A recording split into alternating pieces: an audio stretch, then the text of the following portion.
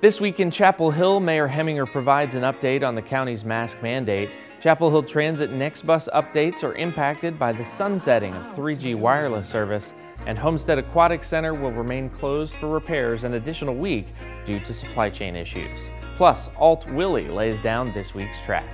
For the town of Chapel Hill, I'm Rand Northam. Chapel Hill Mayor Pam Hemminger provided a community update Wednesday about the county's collective decision to keep the indoor mask mandate in place. It reads in part, quote, Orange County's current metrics, including percent of positive tests and number of cases, are trending in the right direction, but are not yet at the level our healthcare professionals would like to see to limit future issues. The case counts and number of hospitalizations continue to indicate that our healthcare system remains stressed. Therefore, we have decided to keep the mask mandate in place for a little while longer. Extending the mandate will help those numbers continue to fall, end quote. We have the full message on our website.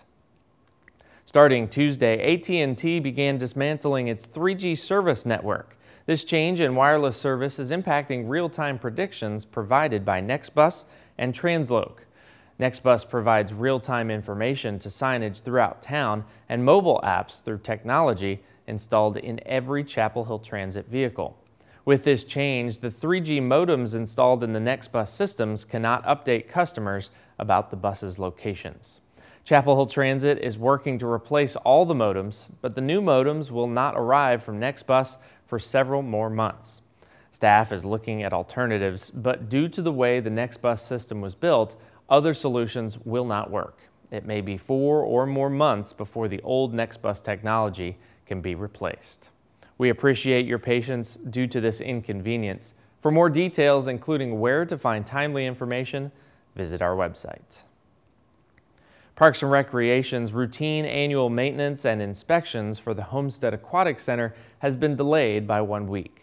Staff did not receive necessary supplies in time for the work to be completed. Homestead Aquatic Center will remain closed through Monday, March 4th. During this closure, pass holders and residents may use the indoor pool at the Chapel Hill Community Center with a variety of drop-in times available for lap swim, recreation swim, and independent water fitness opportunities for the public. We're getting closer to Orange County's first ever Creek Week. The inaugural event is part of the Clean Water and Education Partnership's second annual Regional Creek Week. This year's theme is Water Connects Us. The initiative will engage the public on the importance of clean and healthy waterways. The Town Council held a business meeting Wednesday night, including the official kickoff of budget season, with the first of multiple opportunities to weigh in on the fiscal year 2022-2023 budget development. You can watch the meeting video on our website, and the full budget calendar is listed online. The council will hold a work session next week. You can find details on the town calendar. And this week's track is The Nile by Alt Willy.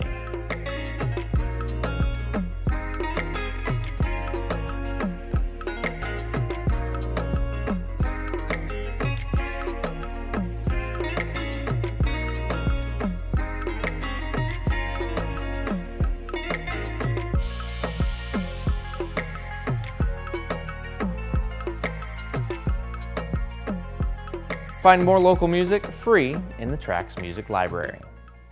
Orange County's indoor public spaces mask mandate remains in effect until further notice. County leaders have agreed to meet again in the coming weeks to once again review the metrics and decide when the end of the mandate will be most beneficial for our community. In the meantime, continue practicing the three W's in our ongoing fight against COVID-19. Until next time, I'm Rand Northam. Now more than ever, remember, spread kindness, not illness, and thank you for watching.